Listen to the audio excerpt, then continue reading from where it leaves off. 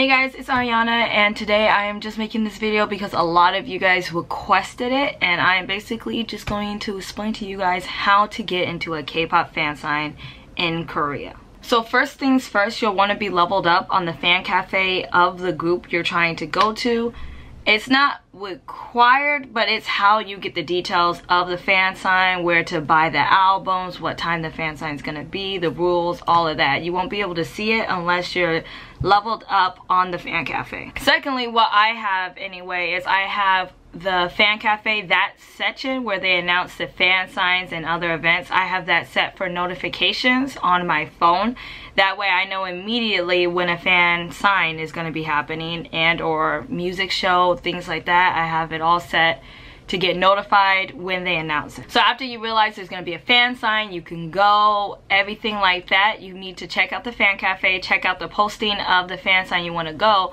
and they're going to put a location for where you need to buy the album. So usually where the fan signs are announced, I'm going to be using KNK as an example because I'm going to their fan sign in literally about 40 minutes. Usually you will find the fan signs in the Tonghap Kongji section of the fan cafe. So the latest KNK fan sign, it says right here, is today at 5 p.m. and it's going to be at Hanguk Pangsong Sorry, I don't have my glasses on, you guys. It's going to be at Hankook Pansong, Kaegwan, third floor. And that's why I'm going to go today to attend the fan sign, but then it also gives the details about when you can enter. The fan sign is, like, to apply for the fan sign, it's open from the 31st at 10.30 a.m. to the 2nd of September at 8, which was yesterday.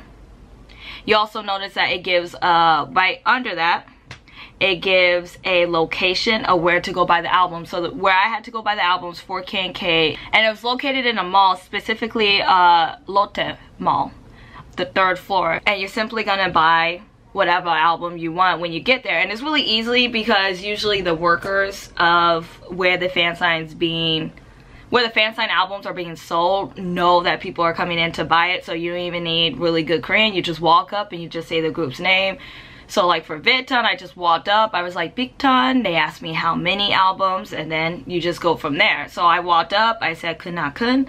They started packing them up for me. Sometimes they ask you if you want the posters. They'll give you 20 posters. Lately, I've been saying no because I know I won't be able to take the posters. Uh, they say how many people they're letting in, which is Baekmyeong, which is a hundred people and that's usually the that's usually the standard for fan signs a hundred people and then under that they put that they're gonna announce when the fan sign people are chosen. So they announced it yesterday at 10 o'clock and then they gave a link on where to check. You're trying to find this word right here. And I simply look for Kunakun. And when I scroll down, it has a list of the names. They usually put an asterisk, obviously, to not like reveal your phone number, reveal your phone name, etc., etc. So I'm obviously number four. They usually go in order of names, starting with English names and then Korean names. So once you buy the album, they will give you a slip of paper. And the slip of paper will have your name, your name, your phone number, and your birthday. Depending on the store, they either give you uh, 20 slips of paper for each album and you have to fill out all 20 or they'll give you one slip of paper and you just write the quantity. And you usually don't write the quantity yourself. The um, whoever is selling you the album will write that for you. So here's the example. As you can see KNK this is the fan sign and I bought 20 I filled in my name my birthday and the bottom part right here is my phone number. After that there'll usually be a little box where you check if you approve or not of like that the information you put is correct. So make sure to put that you approve. Uh, when it's time to go to the fan sign you need to make sure that you keep your receipt if you get in and you lose this you won't be able to attend the fan sign so make sure you keep this no matter what keep it in a super safe spot You'll want to maybe find a friend who can translate the exact rules of the fan sign for you. KNK has a lot of rules of theirs and most groups do. For example, VICTON, I wasn't allowed to put a post-it note with, you know, a question. That's a popular thing where you put a post-it note with a question and they'll answer the question on the post-it note. That wasn't allowed for VICTON. However, it is allowed for KNK. So they all have a bunch of different rules on what you can bring, what you can't bring, you know, things like that. Usually one of the main things they want you to do though is they want you to put a sticky with your name spelled exactly how you want the members to write it.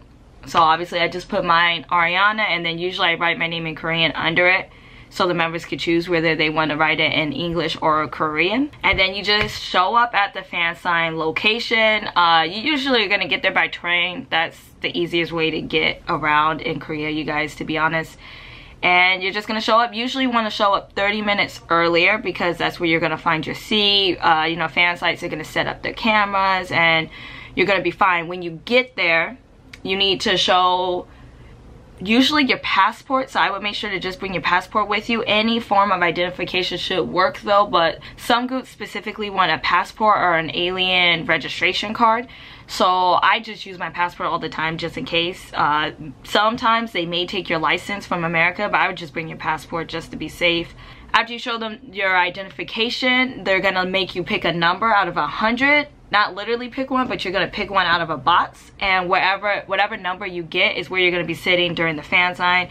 So obviously like 1 through 10 is the first row and so on and so on. And that's also the order in which you go up to get your album signed. So if you're 90, you're the 90th person up. If you're 1, you're the first person to go up. For all these fan signs, you can't leave until the fan sign's over meaning even if you're number one you can't just go up get your album and then go you need to stay through everybody and then usually they either perform a song afterwards or they do like a talk session a q&a something and that's usually the end of the fan sign. In terms i know this was like a big question for you guys. How many albums do you need to buy to make sure you get into a fan sign?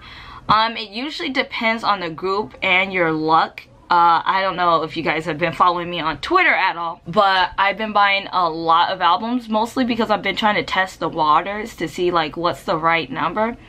For VICTON, I bought 20 at first, but my friend bought 10 and got in, so I was like, okay, obviously I overshot. So I bought 10 the next time I got in, I bought 10 the next time I got in.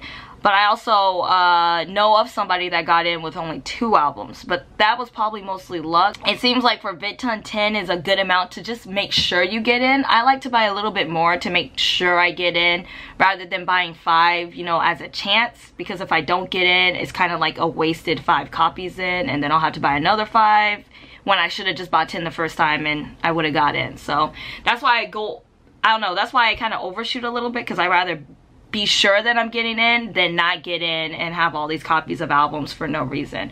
Which is why I bought 20 for KNK because I heard a lot of people were going to be buying 15. Uh, for bigger groups though, I hear the number to make sure you get in is way higher, like 300, 400. That's probably what it's gonna be for uh, BTS. EXO, groups like that, you have to go really high to even like truly have a large chance of getting in. But you can honestly just go and buy one album and you still have a chance, of course, because um, for each album you buy, that's one raffle and like the overall box. And they're obviously just gonna pick a hundred people. And you can't get in more than once. So if they keep picking your name you only got in once. They're gonna re-choose until they get somebody new. So yeah you guys i gotta go and catch this KNK fan sign. Um look you guys i'm gonna be giving this to my baby Seungjun and this because you know he loves Pokemon. I don't know if you guys know but KNK is literally my top group in all of K-pop. So I'm like super excited right now. I didn't even think they'd be doing another fan sign for their rain promotions. So I wasn't expecting to give them to it. That I wasn't expecting to give Seungjun this until um, Next Comeback. I bought it back in America and literally like took it on the plane with me because I knew I was going to want to give him this. I'm excited, but yes, if you guys have any more questions if there's anything you guys want to make want me to make videos on or anything like that just let me know um don't forget i am selling look at this. I am selling albums. I am selling albums because i have a ton from trying to go to all these fan signs. I have a ton of albums so you know hit me up on twitter if you guys want one. I'm not like super tripping though because obviously uh, i bought them but I am trying to get rid of some of them because it's going to be really hard to bring them back to America in a year. So the less I have to bring the better. So if any of you guys are interested in that with like a photo card of your choice, hit me up. Let me know if you guys have anything else you guys want me to talk about or do a video on. Let me know. And yeah i will see you guys in the next video. I hope this was somewhat helpful if you're going to be coming to korea soon. Thank you guys for watching. I hope i see you guys in the next video. Bye bye